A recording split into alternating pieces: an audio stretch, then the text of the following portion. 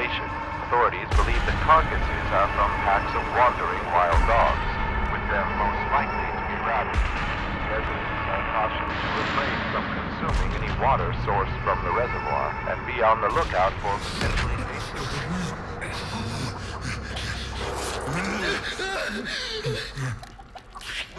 dangerous